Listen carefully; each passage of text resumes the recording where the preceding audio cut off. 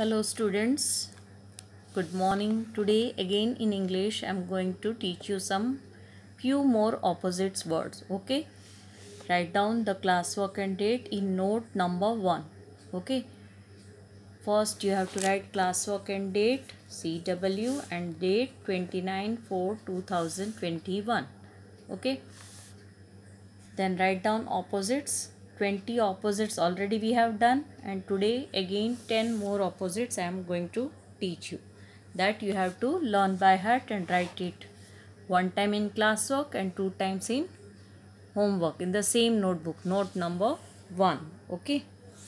मैं फिर से आपको ऑपोजिट आज करवा रही हूँ हम लोगों ने ऑलरेडी ट्वेंटी वर्ड्स करवा लिए हैं आज मैं फिर से और टेन वर्ड्स करवा रही हूँ तो वो टेन वर्ड्स क्या है वो देखते हैं पहले आपको जहाँ से कंटिन्यू किया था ऑपोजिट उसके बाद नेक्स्ट टेन वर्ड्स आप कर सकते हो, पर आज की क्लास वर्क और डेट आपको लिखनी है।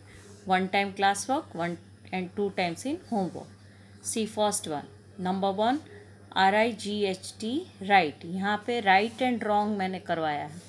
R I G H T right opposite word is opposite यानी उल्टा मीनिंग होता है, इसलिए हम लोग यहाँ पे साइन क्रॉस की दे रहे हैं।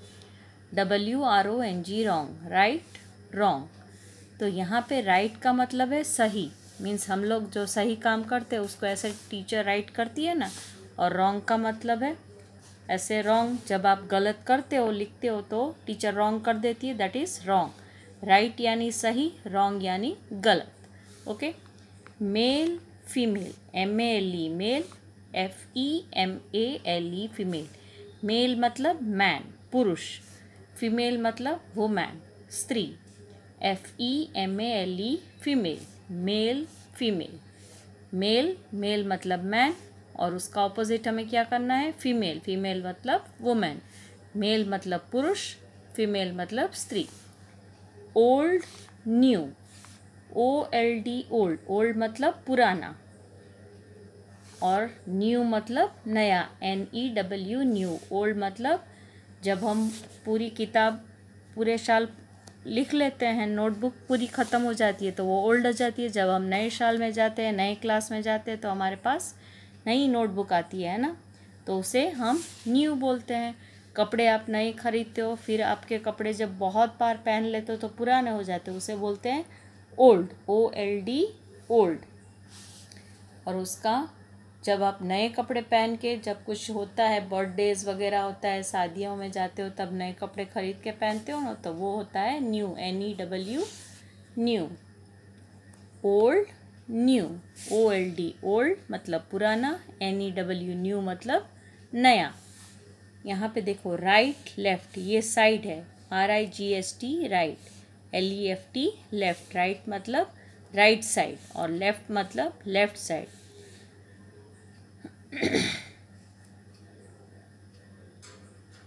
राइट लेफ़्ट हम रोड पे जब चलते हैं तो हमें कौन सी साइड पे चलना होता है? लेफ़्ट साइड और राइट साइड्स पे जब रिटर्न होते हैं तो हमारे राइट साइड पे व्हीकल्स चलते हैं और हमें जब चलते हैं, तब हमें लेफ़्ट साइड पे फुटपाथ पे चलना होता है ना? T R U E true F A L S E false T R U E true मतलब जो सही है, सच है। F A L S C false मतलब गलत है। ट्रू मतलब जो सही है फॉल्स मतलब गलत है। ट्रू मतलब सच्चा फॉल्स मतलब झूठा। R I C H rich rich यानी बहुत पैसे वाला। जो बहुत पैसे वाला होता है, उसे रिच बोलते हैं। R I C H rich poor मतलब जिसके पास कुछ भी पैसा नहीं है, बहुत कम पैसे होते हैं, उसे पुअर बोला जाता है। रिच पुअर रिच मतलब बहुत ही पैसे वाला, पुअर मतलब जिसके पास कुछ पैसे नहीं होते। S A F E safe U N S A F E unsafe safe मतलब सुरक्षित। जो सुरक्षित होता है, उसे सेफ़ कहा जाता है। S A F E safe और N U N S A F E unsafe मतलब जो सुरक्षित नहीं है, उसे अनसेफ कहा जाता है। U S E F U L useful useful मतलब हमारे काम की चीज़। U S E use F U L full useful जो हमारे काम की चीज़ होती है, उसे हम यूज़फुल कहते हैं। और जो हमारे काम की चीज़ नहीं होती है, उसे कहते हैं यूज़लेस मतलब जो हमारे कुछ काम का नहीं होता, उस चीज़ को हम यूज़लेस कहते हैं। U S E L E double S useless जैसे हम यूज़ एंड थ्रो वाली चीज़ लेते हैं, जब हम उसमें यूज़ करते हैं, तब वो हमारे लिए यूज़फुल होता है। और जब उसका काम ख़त्म हो जाता है तो हम उसको थ्रो कर देते वो हमारे लिए यूज़लेस होता है। जैसे हम पेपर प्लेट्स वगैरह में जब हम खाना खाते हैं तो खाते वक्त वो हमारे लिए यूज़फुल होती है। वो प्लेट्स में हम खाना खाते हैं, फिर उसके बाद हम उसे थ्रो कर देते हैं तो वो, यो यूज़लेस हो जाती है है ना? W I N win L O S C loss win loss win मतलब जीतना।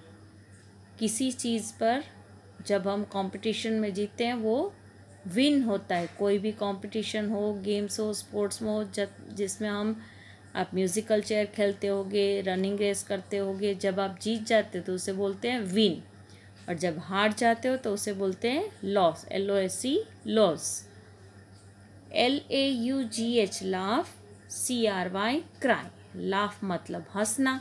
देखो, मैं यहाँ पे स्माइली फेस कर रही हूँ। ये हंस रहा है ना, मैंने हैप्पी साइड में कराया था।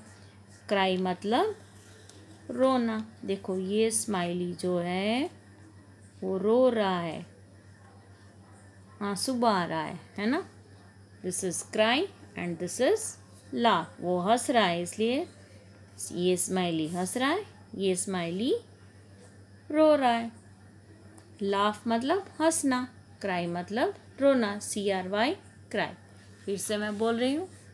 Right wrong R I G S T right W R O N G wrong right मतलब सही रॉन्ग मतलब गलत। M A L E male F E M L E female male मतलब पुरुष फीमेल मतलब स्त्री। मैन वुमेन ये भी हो सकता है। ओल्ड न्यू ओल्ड मतलब नया। सॉरी ओल्ड मतलब पुराना। न्यू मतलब नया। Old new O L D old मतलब पुराना एन ई डब्ल्यू न्यू मतलब नया। आपके पास पुराने कपड़े जब पुराने हो जाते हैं, आप किसी को दे देते हो। फिर आपको मम्मी पापा जब नए कपड़े लिख देते हैं, तब वो नया आप पहन के खुश हो जाते हो। R I G S T right L E F T left ये दोनों साइड है। हमारे राइट लेफ़्ट साइड होते हैं ना? दायां बायां बोलते हैं हम।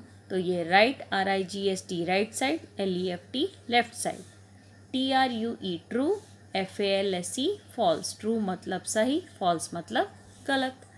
R I C H rich मैंने कहा ना रिच मतलब बहुत धनवान जो होता है, जिसके पास बहुत पैसे होते हैं, वो रिच कहा जाता है. पुअर मतलब जिसके पास बहुत कम पैसे होते हैं, उसे पुअर कहा जाता है.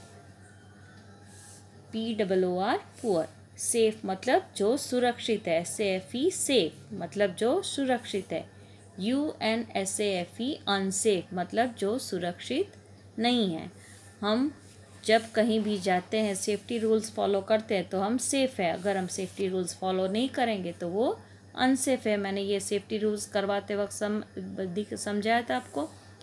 U S C F U L useful जो हमारे काम की चीज़ होती है, वो उसे यूज़फुल कहते हैं, और जो हमारे काम की चीज़ नहीं होती है, उसे हम यूज़लेस कहते हैं U S E L E double S useless okay W I N win मतलब जीतना L O S C loss मतलब हारना। L A U G H laugh C R Y cry laugh cry laugh मतलब हंसना cry मतलब रोना। आपको जब जोकर्स आप कुछ हंसना, जैसे आपको कोई कॉमेडी करके दिखाता है तो आप बहुत हँसते हो, फिर आपको कोई डांट लगाता है तो आप रोने लगते हो। सो लाफ मतलब हंसना C R Y cry laugh cry okay this ten words you have to do in note number one you have to write it one time in class work and two times in homework in the same notebook okay good bye